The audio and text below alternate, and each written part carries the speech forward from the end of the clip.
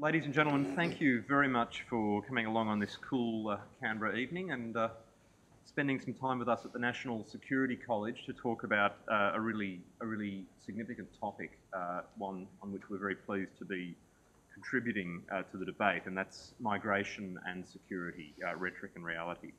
Um, now, at this point, I'll acknowledge the traditional owners of the land, pay my respects to the elders of Ngunnawal people past, past and present. Uh, for those of you who don't know me, uh, my, my, name is Rory Medcalf. I'm the head of the National Security College here at the Australian National University. Um, and in a moment, um, I'll introduce our, our guest speaker for this public seminar that the National Security College is very pleased to host in partnership with the Crawford School of Public Policy and uh, other partners more widely. But I, I first want to mention some of the other institutions and people involved in supporting uh, Dr. Koser's visit to Australia, uh, including the Australian Demographic and Social Research Institute, the Crawford School itself, my own college, and the Australian Department of Immigration and Border Protection. Now, it's a real pleasure to welcome uh, Dr. Khalid Koelser to the Australian National University, or back to the university, I should say, because um, for those of you who um, who may may know Khalid and his work. He's um, he's been here a number of times before in a number of capacities. Uh, he's here today, I think, in a particular capacity, which is the executive director of the uh, the Global uh, Community Engagement and Resilience Fund. Now, this is a uh, an initiative, a, a, countering violent extremism initiative. I'd probably phrase it as best. Uh, based in Geneva, but with wide international support, including, uh, I believe, from the Australian government. It's public private partnership, a global partnership, trying to enable the international community better to bolster grassroots efforts uh, against radicalisation, so to help support uh, communities, including through funding. Um, but our guest speaker is also uh, wearing a number of other hats, including as a non-resident fellow at the Lowy Institute, which um, I know well, my, my own former shop, uh, the Brookings Institution, Chatham House, and uh, chair of the World Economic Forum's Global Agenda Council on Migration. So I wonder how many places you can be non-resident in at once. Um, at once, uh, but uh, you're certainly aiming for the, for the record and, and um, a significant academic appointment as well uh, in the Netherlands. Uh, now, as many of you know, uh, Khalid has published very widely on international migration over a long period of time, uh, including its nexus with security. and this has included some quite considerable field experience from Afghanistan to the Balkans to the Horn of Africa uh, and, uh, and uh, parts of Europe.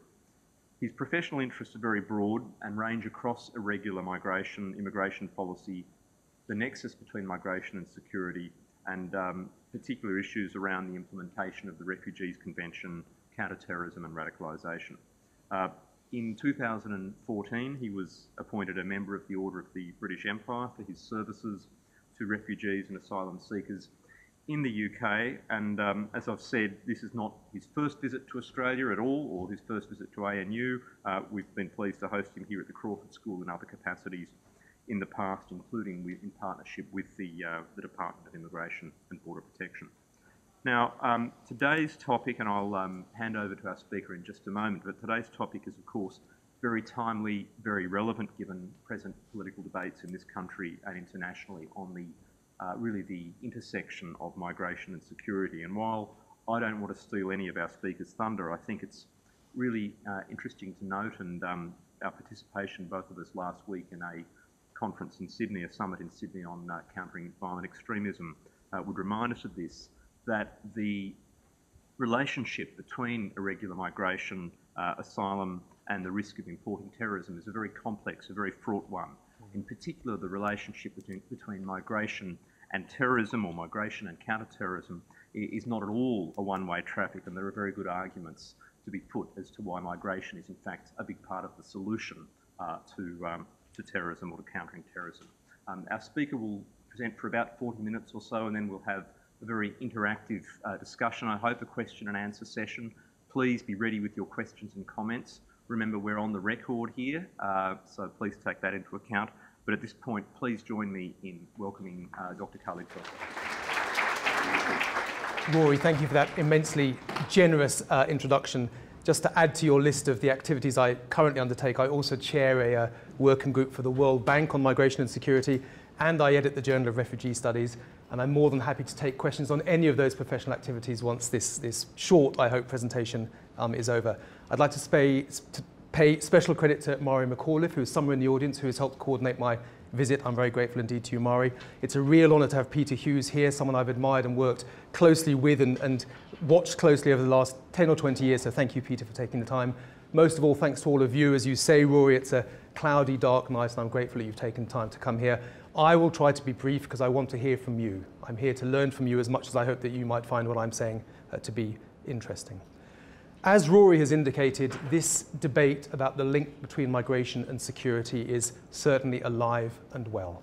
If you look at what's happened over the last year or two globally, and I'm not here to speak about Australia, you can tell me about Australia, I'm here to speak globally. We've had the Ebola crisis, a clear link made between mobility, migration, trying to restrict movement of people in the hope that that would stop Ebola spreading around the world. I think a misjudged effort, but still clearly a link made between mobility, movement, uh, and disease. We've had the terrible outbreak of polio in a Syrian refugee camp. We have been for the last few years in the final mile of eradicating polio, only left in three parts of the world, northern Nigeria, Pakistan, Afghanistan. Now we have an outbreak within a refugee camp and very real concerns in Europe that sooner or later some of those refugees will try to get to Europe carrying polio. It's a great tragedy that we have missed that final mile on polio. We have what my friend and colleague, and many of you know him, Jeff Crisp, has described as military madness in the Mediterranean a crisis evolving in the Mediterranean, boats crossing the Mediterranean, large numbers of people drowning in the Mediterranean, European response, militarize it, securitize it. I think clearly you know that a similar response has been taken here in Australia, three-star generals in charge of your border control. Sounds like a military solution or response to me. We have had from Libya clear indications that in the opinion of the Libyan authorities, IS, Islamic State, is now using boats to cross the Mediterranean to try to transport some of its fighters and terrorists across the Mediterranean. Big alarm bells, of course, ringing uh, in Europe. We have the whole phenomenon of foreign terrorist fighters, Australians as well as Brits and many other people making the seemingly incredible decision to go to Syria, to go to IS, IS territory, and to undertake some fairly ghastly activities um, uh, there. We have the Boston bombers and so on and so forth. So wherever you look, it seems to me the debate about the linkages between migration and migrants and security is alive uh, and well, I think rather depressingly. What I'd like to do, again quite briefly, and again perhaps drawing on some of my experience over the last 10 years or so working in this field, is simply offer a number of observations on this debate between migration and security. And I want to make five points. The first point I want to make is that I think it behoves us to engage with this debate however unpalatable we think the debate is. The second point I'm going to make is that even though I think we need to engage with the debate, I think we need to recognize the risks, the risks involved in securitizing migration, because that is what is happening, and I think that process carries very significant risks. Nevertheless, I think we should engage. The third point that I want to make is that if we are going to engage with this hysteria, this, this media frenzy around migration and security, let's try to do it in an objective and analytical way. And I'll try to suggest to you a few elements of what an analytical framework might look like when we're trying to approach this idea of migration uh, and security. Fourth point, let us, if not embrace, at least understand complexity. And I'll give you a few examples of how the link between migration and security is immensely complex and I think defies the simple analysis that all too often is taking place. And my final point this evening will be let us focus on the right risks, because in my opinion, all too often we're focusing on the wrong risks when we speak about migration and security, and perhaps taking our eye off the real risks that, in my opinion, do uh, exist. So five points that I'll go through fairly briefly. The first point is about engaging. Um, many people, and I respect them and understand them, have said to me in the past, it is unpalatable, it is unethical, it is immoral, it is dangerous to even speak in public or write in public about the links between migration and security. You are risking feeding the media frenzy. You are risking fueling further misperceptions and misunderstandings of migration. Even to make this link in public is dangerous. I sympathize, I hear that argument, I understand the argument, but I'm fairly deeply philosophically against that argument. It seems to me that whether we like it or not, there is a live debate about migration and security. I've given you a, handful of examples. There are many more that you might be able to give me from the Australian context and elsewhere. Most national security strategies in the world today, whether the UK's or Australia's, and Rory, of course, will know all of these, now mention migration and the movement of people as a potential risk. This is out there. The, the horse has left the stable. It's no point us regretting it or resenting it or thinking it's a shame it's happened. It has happened, it's out there. And it seems to me, as academics, as government officials, as members of society, as concerned people, as people who may well be pro migration, it seems to me that it behoves us to engage with this debate.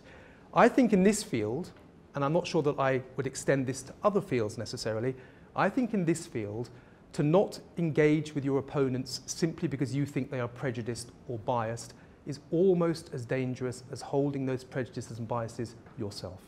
It seems to me that we run a real risk in migration of a polarized debate, where you have two opposing poles, one that's pro-migration, one that, that's anti-migration, and the two simply don't talk. And one of my great regrets about the migration debate, and you can tell me whether this is true in Australia, but it's certainly true in Europe, is that we are losing the space for a sensible, objective, critical debate. Usually migration is good, sometimes there are risks. Some migrants come with uh, bad intentions, most migrants are hardworking people. Sometimes migration is a challenge to borders, normally it's fine and we should get on with it. We need the space to have that discussion, to say what's good, to say what's bad. And I think if we lose that space and can't have a sensible discussion, we shouldn't be surprised that our policymakers are losing control of this, this topic. We shouldn't be surprised that the media is filling the gap. So let's be sensible, let's be objective, let us engage however uncomfortable or unpalatable or difficult this discussion is. That's the first point I'd like to make. Having said that, my second point is let us make no mistake, there is an enormous risk of securitizing migration. And I think that is what we are doing in Europe, and I think that's what to an extent you've done here in Australia around certain parts of the migration uh, spectrum. Three risks, I think, in securitizing migration. One is that what we have done is added to the further dilution of the concept of security. Now, I'm not a security studies person, I didn't train as a security studies person, but were I a security studies person, I would lament the fact that I no longer know what security means. Uh, hard security, soft security, human security, national security, climate security, demography and security, migration and security, food security, water security. It, it's no longer quite clear to me what the security concept is. It seems to me that that is a regrettable conceptual advance that we've made, and securitizing migration further muddies the security waters in my opinion. A second risk of securitizing migration is that we are, and I think this is happening, we are risking allocating responsibility for migration with the control, security, military, intelligence apparatus and parts of our governments. If you asked me where migration should lie in a government, I think it should lie with development. I think migration is largely about development and about making the world a richer and more wealthy place. And there's plenty of evidence that suggests that's largely true. Equally, of course, migration is a cross-cutting theme. You need labour market and health, and we know all of that stuff as well. But it does seem to me to be a mistake if we increasingly put migration into a security apparatus within our countries, and I think that's happening to some extent here, and again, certainly in Europe at the moment. But the third risk and the real risk of securitizing migration is this.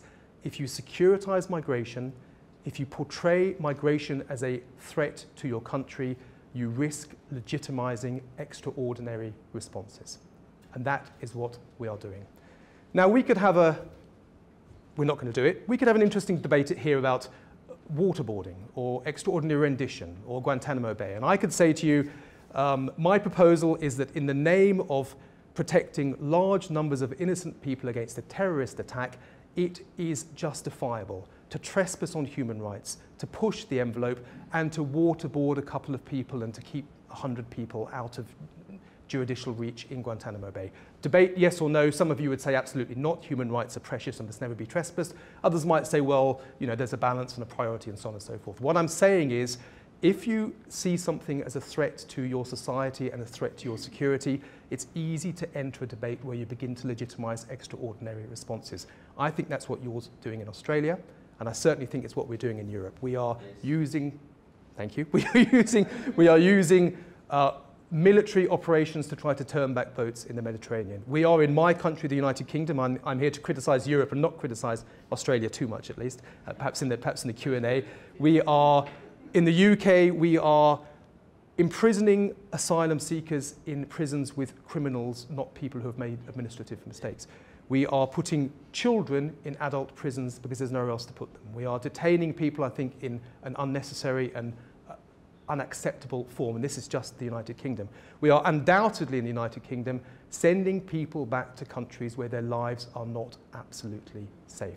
All sorts of ways where if you begin to portray something as a, as a threat to the state, you can then legitimize or at least have a discussion around some pretty extraordinary responses. And I think that's a real risk. So point number one, it's an unpalatable, difficult discussion. It behoves us to engage. Point number two, let us nevertheless recognize the risks of securitizing migration.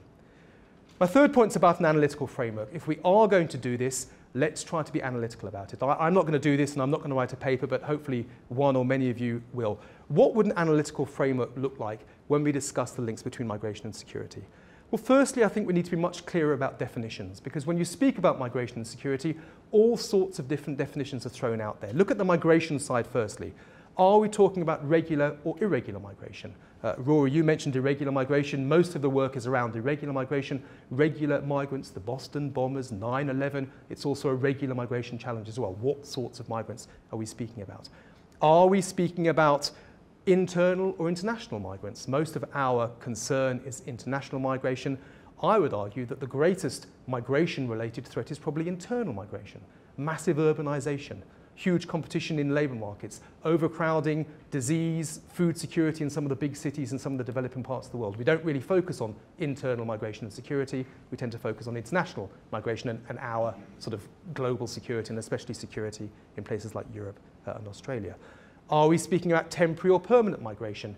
Uh, temporary migration, tourism, the underpants bomber so-called, he was a tourist. The 9-11 bombers were temporary migrants. The Boston bombers were permanent migrants. What are we talking about? Who are we concerned about when we speak about migration?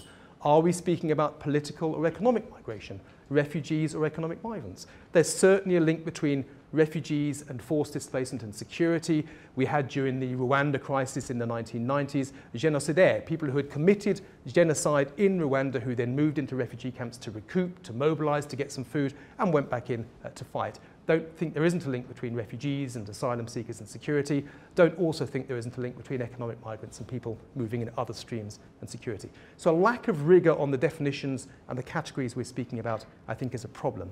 You can say the same about security. Are we speaking about national security? Are we speaking about human security?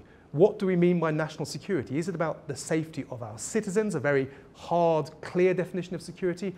Or is it about competition in the labour market, or pressure on social welfares, or uh, welfare systems, or environmental systems? Again, it seems to me a lack of rigour and a lack of clarity. So let's think about definitions if we're going to do this properly and understand who and what and in what circumstances we're having a discussion.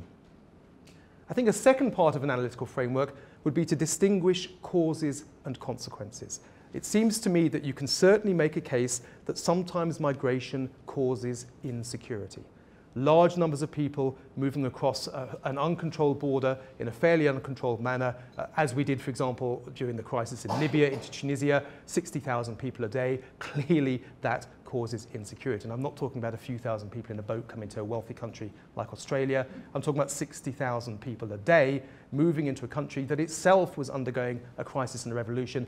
There's no doubt at all that in certain circumstances, migration can cause insecurity. Equally, migration can cause security. I would argue that by and large migration is positive for our economies and societies, and I suspect most of you would agree. Migrants are entrepreneurs, migrants expand the labour market, migrants tend to employ other people, migration tends to generate economic growth. So security, insecurity causes consequences. What about the other way around? Well, clearly insecurity causes migration. That's what refugees and IDP is about. Equally, security can cause migration. This is the famous so-called development hump. If you develop a country for the first 20 years or so, there is more and not less migration because with development becomes disposable income, comes access to the internet, comes the ability to buy that ticket you've always wanted to buy to fly to Paris and so on and so forth. So let's be a little bit more analytical about causes, about consequences, about positive, about negative, really I think missing at the moment uh, in this uh, debate. Let's also recognize complexity the language that is used in the migration security debate is so simplistic. Push versus pull, positive versus negative. agency versus structure. It is just far more complex than that. And in a minute, I want to illustrate some of that complexity. And when we're thinking about policy, again, let's be analytical. Can we make direct policy interventions? Yes, sometimes. Yes, uh, other times, no, we clearly can't make direct policy interventions.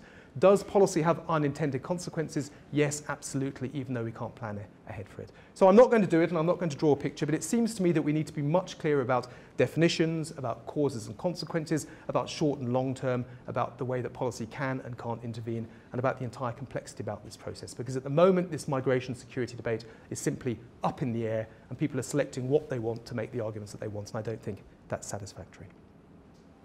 A fourth point then, firstly, engage. Secondly, recognize the risks. Thirdly, think this through in a fairly analytical uh, manner. My fourth point, and I only have two left, I want to keep roughly to time, is about complexity. And is about getting away from some of these rather simple binary uh, analyses and descriptions that we have about the relationship between migration and security. And let me illustrate these with three examples. If you spoke to, and I do this often with students in Europe, and you can tell me whether this, this would be the same here, if you speak to students in Europe and say to them, give me a couple of examples of how migration is a threat to national security, so not human security, and of course one is not here to underestimate the terrible hardship that migrants undertake, but I'm not talking about human security. Give me a couple of examples of how migration intersects with national security. Terrorism comes up often as one of the first answers. Criminality, migrants are criminals, certainly comes up a lot in Europe. Health is coming up increasingly, especially after Ebola and the polio crisis and so on and so forth. Let's look at those, and let me just give you anecdotal examples of how the relationship can be more complex than that, again, rather binary equation. Terrorism and migration.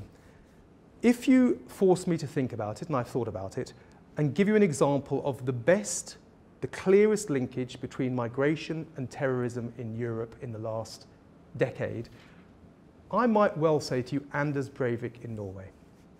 This was a Norwegian who went to an island and slaughtered, I think, 71 people. And he slaughtered those people because they were part of a political party that believed in multiculturalism. Now, that's a very interesting and less binary take on the link between migration and terror. Those people died because multiculturalism exists. Those people died because there were migrants in Norway. They weren't migrants, they weren't directly supporting migrants, they weren't killed by migrants, but the existence of migration whipped up an hysteria amongst one sad or crazy guy, and 71 people died in an outrageous terrorist attack. That's, I think, a more interesting, sophisticated analysis of the linkages between migrants and migration and terrorism than simply saying migrants are terrorists. And I've seen very little evidence at all to suggest that migrants are any more inclined to be terrorists than are any of our, our, our nationals. Let me give you another, again, anecdote around health that again just tries to illustrate the complexity and move beyond some of the, the, the simplicity that we sometimes see. Health, it is true and it's clear and the evidence is there that in the UK, in London in particular, there are certain ethnic groups amongst which there are high preponderances of diseases, including infectious diseases. Why? Well, the research is pretty clear. The answer is not because they are dirty, or they come from poor countries, or they wipe their bottoms with their hands, or all the other stuff that you read about in newspapers. The main reason in London is because they do not and cannot engage with the public health system. If they are irregular migrants, and many of them are, they're too scared, scared to put their head above the parapet and engage with the health system because that would mean that they would then be exposed and possibly deported at some point. If you are a Muslim woman from Iraq who has spent your life wearing a burqa and you come to my general practice complaining of a stomach complaint, I, white, suit, will tell you to take your clothes off because I need to investigate. You're not going to do that. There are very interesting pieces of research coming out of the UK at the moment saying that certain migrant groups, either because of legal status or because of cultural understandings, are not engaging as they should with the health system. So why is there a, a health risk around migrants? Not necessarily, again, because they are uh, unhygienic or unhealthy or come from poor countries. It's because they are not engaging as they should and deserve to, and, and we, we need to promote their engagement with the health system. A third example, and again, I'm just picking out anecdotes that I hope will illustrate some of the complexity. This is a more difficult and, and nuanced picture than I think many people, or certainly the media and many politicians, understand. The third is around criminality, and this is the most difficult. Whenever I give any version of this presentation in Geneva, and you can tell me, and I'll be interested if anyone's brave enough to tell me, you can tell me what the answer is in Canberra. But in Geneva, I always say, ladies and gentlemen, if, God forbid, you are mugged tonight at the central station in Geneva, you will not be mugged by a Swiss person. You will be mugged by someone from North Africa or the Balkans. And I can guarantee that's true. Now, that's a statement, it's out there, and it's basically supported by any evidence you can find in Geneva. Again, you tell me what the truth is in Melbourne or Canberra or, or Sydney, and let's see if we can let's see if we can have that open and critical a discussion. What I'm not saying is that all North Africans and all Balkans, people from the Balkans, are criminals. What I'm saying is there is a small group, and it's 20 or 30 people as it happens, in Geneva that are run by a gangmaster that pickpockets and break into cars and do a bit of beating people up and perhaps run a few drugs around that rather seedy area of Geneva around uh, the station. This is a difficult one to, to deal with. Firstly, you have to really encourage people to understand it's a small group. You shouldn't generalize into large questions about migrants and ethnicity and religion and so on and so forth. The other way we often try to deal with this, and I admit that we have failed, is to try to understand the context that is forcing people to do this. Migrants aren't intrinsically criminally minded. Migrants often do this because they have no alternative. The UK, for example, where we don't allow asylum seekers to access the labour market for six months. These are people who may owe money to smugglers, they may be under social pressure to send home money to their family. They turn to crime or petty criminality in order to fill some sort of gap. I'm not saying it's justifiable, I'm not necessarily accepting it, but I think understanding the context, the reasons, the drivers, the background is one way to understand why some migrants, some asylum seekers, perhaps some refugees are turning to criminality in our societies. Now, sadly, that argument doesn't hold, especially with our friends in the media. Um, and I've done many interviews in the UK where I've tried to make that case, and of course the headline that comes out is asylum seekers are criminals. That's, that's what you've told us. Forget the context, forget the background, what you're saying is this. And I'll, since this is a university and since we're here, I guess, vaguely under the Chatham House rule, or I think we're being recorded, but I'll tell this story nevertheless. Um, I once did quite a nice piece of research, I thought it was a good piece of research, in the UK many years ago when I was an academic. And this was interviewing 100 asylum seekers in, in London. Um, it was a good piece of research, cleared by the ethics committee, uh, fine methodology, representative sample, we used interpreters, we triangulated the data, all the stuff that you'd expect of a, of a decent piece of research out of a decent university. And what did we find? We found that something like 70% of the people we had spoken to had, in one way or another, transgressed the law. Now, sometimes this is purely criminal, pickpocketing, sometimes more administrative. But we came to the conclusion, on the basis of a pretty good piece of research, a pretty solid piece of research, that the majority of asylum seekers with whom we had spoken had in one way or another, and by the way, they were willing to admit it, had in one way or another transgressed uh, the law. Now, a professional researcher, which many of you I'm sure are, what do you do? You've done the research, it's defensible, it was a good methodology, you publish, of course you publish. That's the, that's the end goal that we're all working towards as academics. We didn't, because we knew that if we published, the Daily Mail, our particularly raggish right-wing newspaper in the UK, would publish the next day, esteemed academics confirm all asylum seekers are criminals.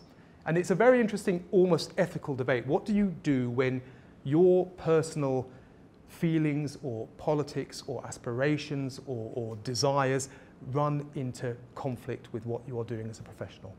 And I don't know about you, but I've certainly met people working in immigration departments who have that challenge. I've met people in universities who have that challenge. Migration has become an area where we are increasingly conflicted.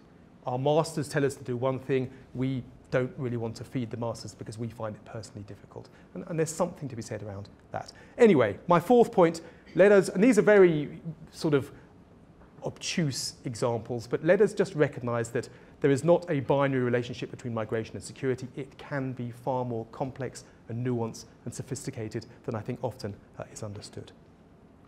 My fifth and final point is about focusing on the real risks. I regret the focus amongst my students and amongst many other people in Europe again on terror, on health, on crime. Firstly, because I think it runs the risk of being binary, as I've said, Secondly, because there is very little evidence at all to demonstrate to me, or to you for that matter, that migrants are any more likely to be terrorists or criminals or a health risk than are nationals amongst whom they've settled. This is not empirically proven. There's lots of myths, rhetoric uh, around this.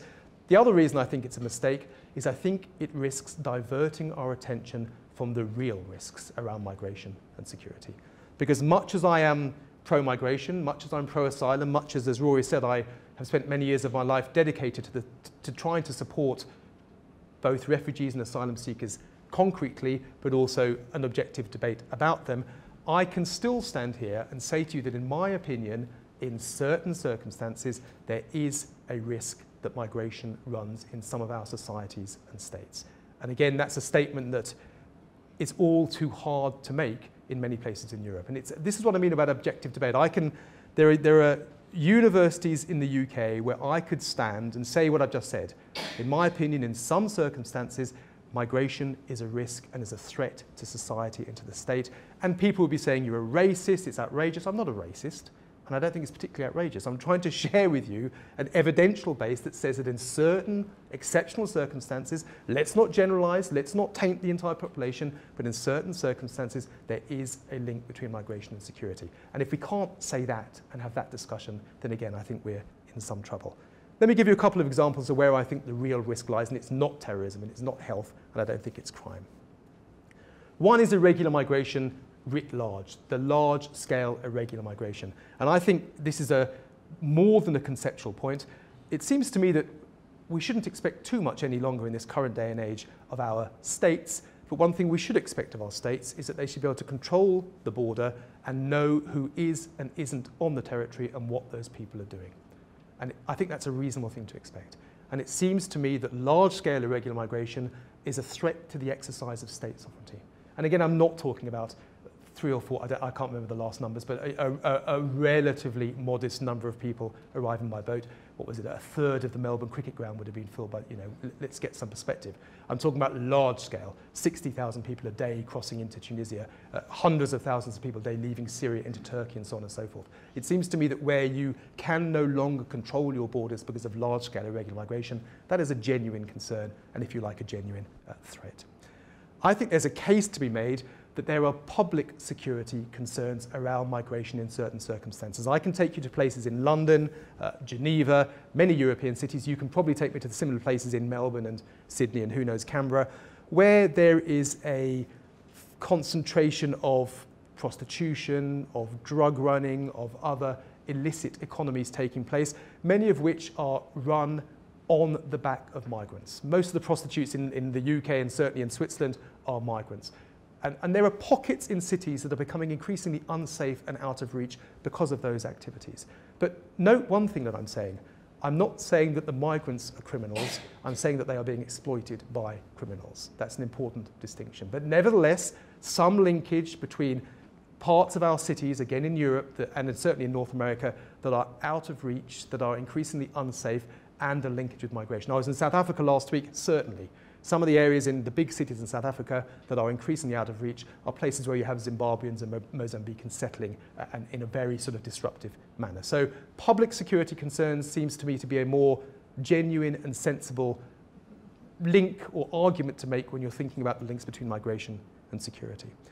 The big one, and I have confounded myself on this and I no longer know where I stand, is of course around integration. I think what I can say is that integration isn't working, or at least isn't working as effectively as we had hoped it would in places like Europe. The fact that you have third generation migrants, and I don't think they are migrants, frankly, the, the, the, the, grandson of someone who came from Pakistan 50 years ago, deciding to go off to Syria and cut people's heads off on camera, strikes me as firstly immensely stupid, and secondly, some sort of really deep fundamental failing of our society. What did we get so wrong? That even now, after 30 years, you're wearing your Manchester United football shirt. You went to a university in the UK, you are still doing this because somehow you feel alienated or disenfranchised or marginalized. There's something going on with integration. So I think there's a big debate, and we might have a discussion about integration and a failure of integration and how that is certainly destabilizing. Let me give you a much more parochial example of integration and, and, and the way that it can, and its failure can be a problem for society. I've got a good friend who is a school teacher in central London. And, and he's left wing and pro mig, I mean, my sort of, my sort of guy, your sort of guy. Um, he says to me, teaching in this school was difficult 10 years ago because it was a class of 20 and you had three Somalis. And that's kind of a challenge. You've got 17 English kids or, or British kids, and you've got three kids who come from a difficult background, who probably arrived as refugees, who have a different mother tongue at home, who are not fluent in English, who follow a different culture. You know, these kids are watching TV and understand whatever, neighbours, our equivalent, EastEnders. These kids do something different. They have a prayer routine, they eat different food. It's kind of hard to make it work. He says, now what I have is a class of 20 with four English kids, uh, three Somalis, two Sri Lankans, there's a couple of Afghans, and a couple of Rohingya. And he says, I, can't, I can no longer manage the class. This has become an impossible class to teach. And don't be surprised that the middle class English parents are taking their kids out of the school as quickly as possible because migration has destroyed the education system in their eyes. This is, is very interesting. The, um, the, the left wing, I was going to say liberal, but I know that's a different concept here, but the left wing, the left wing intelligentsia celebrate cosmopolitanism and transnationalism and diversity. I think on the coal-face diversity is really difficult to manage. And I think that school example is, is, a, is a reasonable example of that. A couple more, and I, I mean, I could go on and on, but a couple of more. The labour market. Now, we traditionally have understood that migrants tend not to compete in the labour market because the old line is that migrants either do work that we can't do because they're so highly skilled, they're, they're doing work that we're simply not skilled enough to do. Think about your Indian IT engineers and so on and so forth. All the work that we won't do because we consider it to be below us, it's dirty, dangerous, difficult, you know the sort of language. I think increasingly, and especially during a time of global recession that we're still going through, there is competition in the labour market between migrants and nationals, even away from those two extremes. And that's certainly generating a lot of the, the resentment and the xenophobia and the anti, anti-immigration political traction that we're seeing in Europe at the moment. I think there is a challenge there again that needs to be analysed and thought about. Two more. One is the environment. I don't think it applies to our countries. It may, I mean, Australia is a, fragile environment, but you don't have enough migrants, to, I don't think, to damage it. But, you know, to give you an example, I did my PhD in Malawi many, many years ago when one in three people in the country was a refugee. This was massive deforestation. This was a huge poisoning of the water table. This was irre irre irrevocable damage to the environment. That seems to me to be a genuine thing to lay at the door of migration. Large-scale migration, large-scale displacement can be a genuine, lasting threat to environmental security in some poor countries around the world. The final point I'd make on this before concluding, and I, I'm probably stretching the definition of security. One of my great concerns, and I think I see it in Australia and I certainly see it again in, in, in Europe, the place I know best, another challenge that migration is posing is that the public no longer trusts the government to run migration. There is a draining of public confidence. I promise you, if you spoke to 100 people in the UK, and again, you can tell me whether it's true in Australia, if you spoke to 100 people in the UK and said, do you trust the government on migration? 80% would say no. The government has no idea what they are doing. It's out of control. There are hundreds of thousands arriving. They're carrying Ebola. They're committing crimes. They're stealing my hospital place. My kids can't get a decent education. I can't even get a house, and so on and so forth. There's a real sense, I think it's 90% wrong, but there's a real sense that the government has lost control of migration. And we will know, and, and Peter certainly will know, as a policymaker, as a politician, once you lose public confidence, it's very hard indeed to win it back. And the best way to win it back, of course, is to flex your muscles and to stop the boats and to send people home and to evict people and enforce and prosecute and persecute and so on and so forth. So I think we're getting in this vicious cycle. Public has lost confidence in the government. The government is overreacting to try to win back public confidence. We're in short three, four, five-year democratic cycles, and I think we're beginning to spin our wheels in, in rather a dangerous way. I could go on, but, but I don't want to bore you with any more anecdotes. Let me conclude. I think the migration security debate is alive and kicking. I think it behoves us to engage with the debate, however difficult or uncomfortable or unethical or immoral you might think it is. And you, I hope some of you disagree. I hope some of you think it was dangerous for me to even stand up and say this and it was a mistake. But I believe that we should engage. I believe that if we are going to engage, we equally need to recognize the risks entailed in securitizing migration. And I hope I've been clear that I see those as very significant risks, especially because we risk legitimizing extraordinary responses. I think if we're going to engage in this debate, we should try to do it in a far more analytical way than we have so far. And I look forward to someone doing, and, and that's, by the way, another observation. There's very little research on migration and security. There's very little written about what I'm saying because it's become such a politically sensitive issue. I dare you to try and get a book published by Oxford University Press making the argument that I've just made. I think it would be very difficult. We are living in a politically correct, politically challenging climate where it's difficult to say to say some of these things around some of these um, issues. Fourthly, complexity. I gave you three rather wacky examples about terrorism and health and crime, but the point is where migration and security are related, let's recognize that the, the links are complex. And finally, let us focus on the real risks. And in my opinion, they are not terror and crime and health. They're the more difficult issues around integration and public confidence and the environment and irregular migration and public security. That's where the debate, I think, should be, and that's where the policy focus should be. Thank you.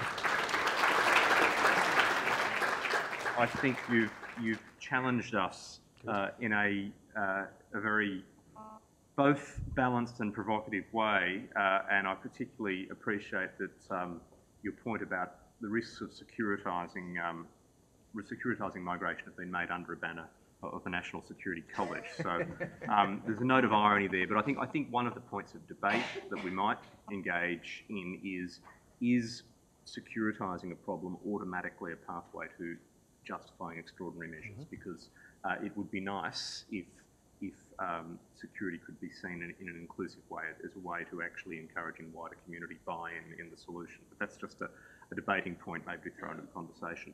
I'll open the floor to questions and comments. Um, I've got one or two questions of my own, but I don't want to um, uh, monopolise. So I'll, I'll, start perhaps with a comment or two from, or a question from the room. Thank you. Uh, my name's Shoba Vaki. I'm uh, an ex-UNHCR worker. I also live in Canberra, Australia for the last 35 years. Um, I agree with you completely. Uh, the media the xenophobia, the ignorance, and the resource scarcity are causing these issues to flare up. If we had 30, 40 years ago, you come as a migrant to Australia, welcome with open arms, there's lots of food, there's lots of work, etc., etc. My questions are, we have 200 nationalities living in Australia. Why is it suddenly becoming an issue about migration? That's a question.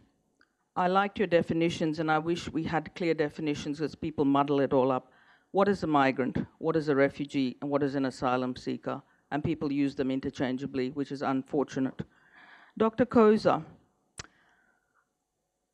uh, if you stay longer, I'd like you, you to see how multiculturalism is thriving and well in Canberra. We have, as I said, 200 countries, people from 200 countries who live here. Um, IS and, and Al Qaeda, etc., they are using vulnerable youth, young people, and radicalizing them. What do you think of Australia's current um, issue with revoking citizenship? Um, when are the water and food wars going to start, or have they already started? And um, what can Australia do? Because this is all preventable and is just, as I said, earlier, that's what's causing it. So thank you. We've thank got you. three questions there, and I think that gives you the right to answer only one or two. but, um, it is a, a, a very um, useful commentary, please. Shall I make a list, yeah. or do you want to? Uh, uh take it, address it. Okay, thank you. Thanks, and I, I, I, wish we could have a long. very briefly, I mean, there's a big, there's a. As you said, 30 or 40 years ago, people came to Australia and indeed Europe and were largely welcomed.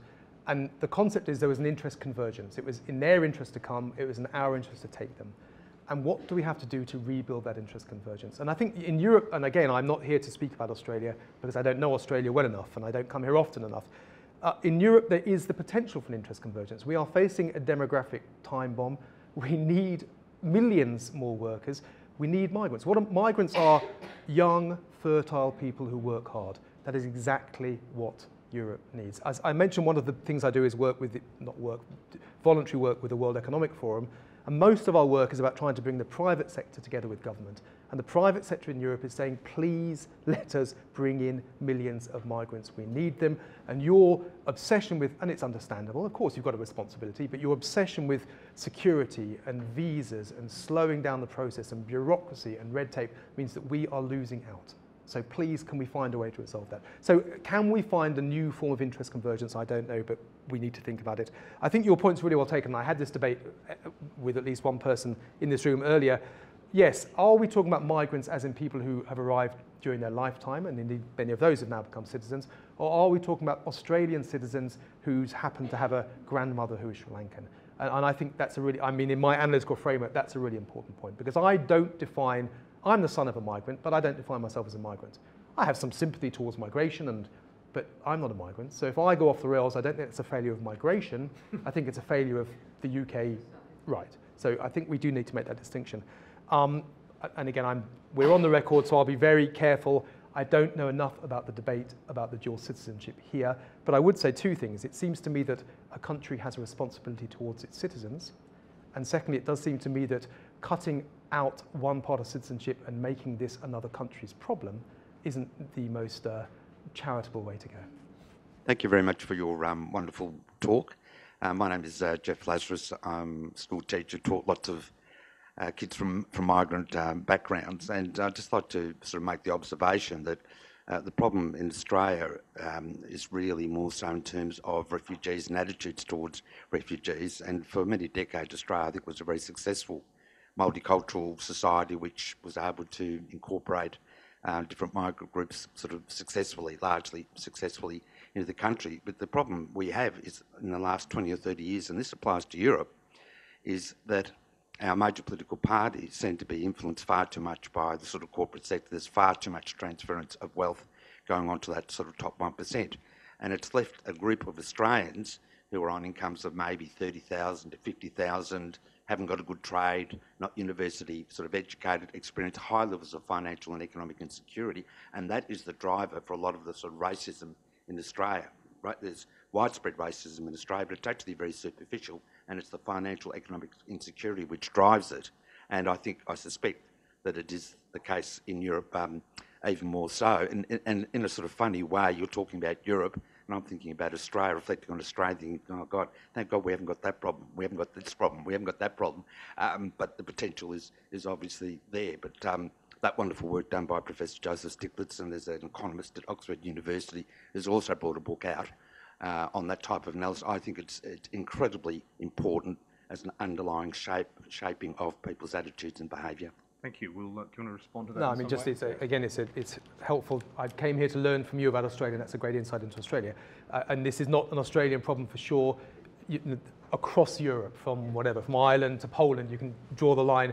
There is a real rise of xenophobia, of, of anti-immigration sentiment, of, let's be honest, anti-Islamic sentiment. This is, this is an Islamic issue, at least in, in, in my part of the world it is, uh, of political parties making huge capital out of this, and of a real sense that Europe's in trouble. I mean, we are the, the, the, the left wing, the sensible debate on migration has been lost. And I think you're right. A lot of it is about nationals who feel that they're losing out and they haven't got enough money and so on and so forth. And I'm sure that's part of the process. Hi, Dr. Koser. Look, David Goyne, I was very taken by your point about a loss of faith in government. And I wonder if just the immigration sector is just a symptom of a much wider loss of faith in government right across the spectrum of government it just strikes me that you know we've got this uh, switch to parties of the left or right at extremes in a way we would not have had 20 years ago because people have lost faith in the ability of government to manage their lives. Thanks. Um, so when I, I, I, once, a couple of years ago, taught a group of American students, and I made this point that in my opinion, in your country, America, as well as in Europe, the public has lost confidence in the government on migration. How would you respond to that? And these students all said to me, we've lost confidence in the government to do anything, not just migration. As you say, migration is just a symptom. But what I would say, and I, and I, I, I reflect on this elsewhere, I think a, a mistake that migration policymakers make is not to learn lessons from other spheres of public policy. Um, because you, we have had food crises, we've had nuclear crises, we've had crises over all sorts of things where public confidence has drained away and has been recovered. It can be done. And I think it sort of behoves, if I'm right, and there is a draining of public confidence in migration, let's see how the Japanese public's confidence was rebuilt after that nuclear disaster. Let's see how Britain's belief in eating beef was rebuilt, even though we slaughtered every single cow because of mad cow disease and so on and so forth. It can be done.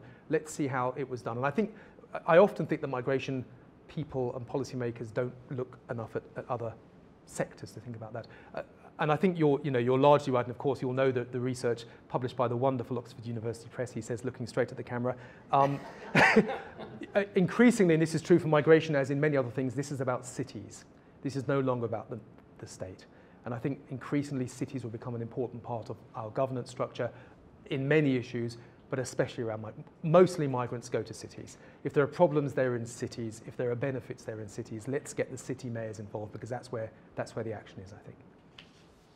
Thanks. While we're waiting for another question from the group, and there is one up the back there, I'm just going to jump in um, with a, I guess, a broader question about um, about terrorism uh, and migration, but terrorism and multicultural societies. I think one of the risks that many of us see is not purely in the scale of a potential terrorist act, and often the casualty numbers are relatively small, but the impact on social cohesion. Now, in multicultural societies, whether it's Australia, whether it's United Kingdom, whether it's Europe or elsewhere, it would be interesting if you could make a comment on, I guess, how you see the link between uh, terrorism as a tool, as a tactic, and multicultural societies almost as a target. Uh, in other words, the target is tolerance and trust within a country. Um, now, how how do you see governments managing the risk of the aftermath of terrorist attacks, maintaining social cohesion in the context of migration? It's a, it's a, you're more expert than I, Rory, on this, and I haven't thought through it in much detail. I did once write a blog, I think for, for Lowy, where I said that far from migrants being the source of terrorism, migration is the way to stop terrorism, because there's no better way to stop terrorism than multiculturalism. If we can generate understanding in our societies, then hopefully less people will go off the rails and become extremists and so on and so forth. So I see multiculturalism as part of the answer, not, not the other way around. I'm not sure that many, I don't know, but I'm not sure that many terrorist groups go out to attack multiculturalism. I think they might go out to attack our way of life and our standards and what we believe in and perhaps our particular religion, but I'm not sure that multiculturalism is necessarily their target. Neither do I, and I hope I haven't been, been I hope I haven't underestimated our public. I don't think the public fall for it. I don't think many people in the public, at least in, in the continent where I live, in Europe, would, would make the mistake of saying that terrorism is a demonstration that multiculturalism somehow is a problem. I think most, most people celebrate, multi, celebrate multiculturalism and recognize that one or two terrorists are people who have gone, gone off the rails. And let's not forget, you know, the, the, the great, and we, we, we haven't mentioned the work I'm doing for the Global Fund, the great burden of extremism and terrorism lies in Nigeria and Syria and Pakistan. The Charlie Hebdo attack was terrible and it killed 19 people. Your Lindt Cafe attack was awful and it killed a handful of people. The burden of this is in often not multicultural, single culture places in other parts of the world. Uh, yeah, thank you. Um, just a general member of the public, so I have nothing to announce before my question. But I was just curious about the idea of extraordinary measures and you know the debate and how it can lead to that sort of being justified, and particularly in reference to asylum seekers and refugees, about what is maybe initially deemed as an extraordinary measure, but then slowly becomes normal as that sort of you know becomes part of I guess the infrastructure. And I think, for example, offshore detention was perhaps at the beginning viewed as extraordinary and now has become sort of accepted as a tool in um, addressing asylum seekers. And today, you know, there's been a lot of focus on direct payments to people smugglers and whether that took place and whether that's justified as an extraordinary measure to turn people back and deter irregular migration. So I guess, you know, here, extraordinary measures, that definition of what is extraordinary keeps shifting as things become acceptable. And I'm just curious, that's happening here in Australia, and there's been conversation that perhaps in Europe some of these policies might actually be copied um, to address some of the issues there. So I'm just curious to what you think about whether these are extraordinary anymore and whether you see that shift continuing as people sort of go down this ends justifies the means sort of logic, if I've articulated myself clearly. You have superbly. Um, yes, I mean, one of the, one of the realities of extraordinary measures is, is they become normalized fairly quickly. Uh, you know, I'm sure 10 years ago we were all up in arms about Guantanamo Bay. That was the, the poor example I used. And now it's just one of those things. And, you know, President Obama promised to close the he hasn't, we understand why, and so we just kind of put up with it. And I, I guess I, I, guess the same in Australia. You know, I'm sure there was, and I'm sure there still is huge outrage amongst advocates about some of these offshore processing and turnbacks of boats and so on and so forth. But it's now policy, and we kind of put up with it, and it's off the headlines and so on and so forth. So not only and I take your point, Rory, you know, securitization doesn't have to be a bad thing, but not only he, in this context is securitization risking legitimizing extraordinary responses, but those responses soon become accepted and absorbed and part of the commonplace, which means you have to go even further and ramp it up even further to try to make a difference. So the, the normalisation of the extraordinary, I think, is, is, a, is a point. I don't know enough, and I don't think the evidence is there yet on this question of whether boats have been paid to go back, but if they are, it's a pretty astounding finding. So let's wait and see what happens there, because that's, that's, a, that's a pretty extraordinary response. We're paying criminals to take people uh, whose lives are in risk back to a country where there isn't a protection system, I think is an unfortunate thing. The, the, the final thing I'd say is there's been much, and I, you know, I'm in Geneva, and Geneva is rather critical of Australia, and many other places are. There's been a lot of attention on Australia, and I think Australia's policies have been rather extraordinary, but we have equally extraordinary responses in Europe as well. This isn't just an Australian issue. I think you've been more exposed or more extreme or more explicit about it, but you know, uh, and I'm, I'm on the record, behind closed doors in Europe, lots of policymakers are quite jealous of what Australia is doing. We wish we could do it. Uh, thanks, Dr. Costa. Um, since the last change of government, we've seen the uh, settlement and uh, multicultural affairs functions of the Department of Immigration move over to the social services portfolio. And I was wondering, from what you've seen internationally, is this part of a trend? Uh, and what do you think are the ramifications of such changes? It's nice to see you, Chris. Uh, thanks for the question. Um, again, I, I, I, certainly don't know enough about what's happening in terms of the, the institutional changes here um, in Australia. Let me just make a couple of non-Australian specific observations, uh, which may or may not apply to Australia. One is that you see, I think, around the world a sort of, uh, and I kind of, I think this was one of the risks of securitization I mentioned, a, a sort of a lack of clarity and a lack of consensus about where immigration and different parts of immigration, integration, immigration, social services lies. And I think there's a different, and, and there's a, there's a, I think, an unfortunate amount of change around the allocation of responsibilities within institutions for these different parts. How you slice up migration, how you allocate it, I think changes quite often. One of the implications, European context, you can tell me whether it's true here or not, is a huge sense of insecurity and dissatisfaction amongst people working in those departments. And I, I you know, I've, i remember giving a presentation to every head of immigration department in Europe, and I basically said to these, whatever it was, 25 men, I think they were all men, would you describe your departments as happy? Are your staff satisfied? And they basically said no. And, and so too much insecurity, too much change, too much political fiddling. I don't think it's, I don't think it's good for, for, for, for morale, for confidence, for public servants doing what they're supposed to do. Thanks. Uh, one more question that I might um, ask you while we're waiting for another question from the floor, and this is about, about legal migration, about regular and legal migration, because um, a lot of the concerns that you've identified in changing political attitudes or changing social attitudes or securitisation um, obviously has a bearing on the way key countries respond to uh, irregular migration. How is it affecting their responses to or their management of legal migration, uh, because of course there would be policymakers in Australia who would argue that in fact a greater emphasis can or should be placed on, um, on legal migration uh, to really substitute for um, large, large numbers of irregular migrants. Thanks, and, and I guess here I can speak about Australia. I think, you know, I would go out there and say that I think Australia is, a, is still a model and a champion on legal migration. I think you've got a, a, legal migration system that is the envy of most of the world. Everyone always says Australia and Canada are the two kind of models, and there are criticisms, but they're out there. You do resettle refugees, which is, is I think, something that really needs to be reinforced. You may be treating asylum seekers in a particularly, in a not particularly palatable way, but you are still, I think, the second or third largest resettlement country in the world. It's still not enough, by the way, but it's certainly more than the UK and any other European country. So I think Australia is good on legal migration and is making some difficult policies on irregular migration, and perhaps that's justified. In the European context, they are bleeding into one another. Mm-hmm. Um, we have, I mean, we, you know, the European Union, free movement of labour. We have British parties on both sides of the spectrum lamenting the fact that so many Poles and Eastern Europeans are coming and working and paying taxes in the UK.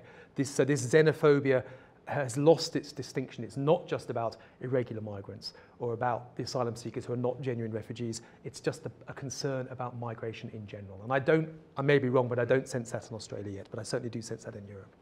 Yeah, I think there's probably less concern here about the, the payment of tax taxes. But, uh, no, look, that's, that's, um, that's, I guess, a useful point of context, and I, I certainly don't throw that in as a kind of a, a balance or a, or a defensive measure from an Australian policy point of view, but it's interesting to see that in some countries there's a risk of legal migration being challenged or threatened by the concerns that you raise, and that's something we obviously uh, very keen to avoid here. Um, we can take one or two more questions from the, the room before we, uh, we close proceedings, and I invite you all to join us for a, a drink afterwards. So please, if there's any more, um, there's uh, one, one uh, lady up the back. Thank you.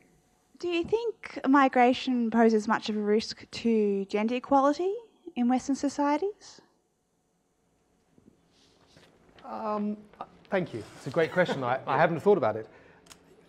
I mean, if what you're, I guess what you're suggesting is that some migrants come from patriarchal societies and, and are not respecting women's rights even when they're settling in our countries. I, I, I, is I imagine what you're suggesting, and it's absolutely a problem. I mean, the, again, in the UK and, and the European context it is, we have, uh, we have migrants coming from pretty patriarchal, pretty difficult societies and not adjusting quickly enough to what our standards and way of living is. And you know, I'm very strong on this. Integration is a two-way process you, the migrant, have got to make as much effort as I, the state. And, you know, and without being very crass about this, if you're coming as a, as a guest or even a refugee, then I expect you to make the effort. I expect you to certainly obey the law.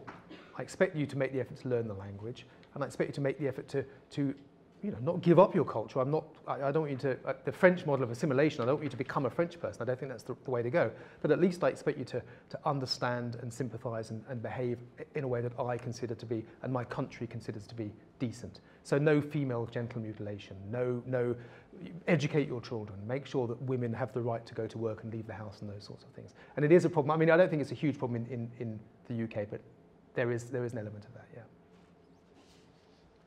Thank you. Look, if there are no more questions from the um, from the group, I'll um, I'll call proceedings to a close.